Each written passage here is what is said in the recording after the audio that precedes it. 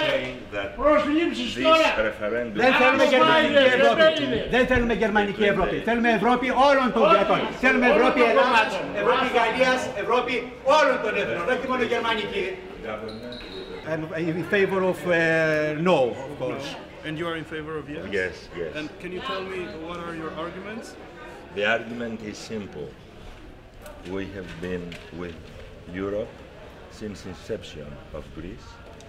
We gave Europe civilization and the basics for development, and we need to be part of Europe until uh,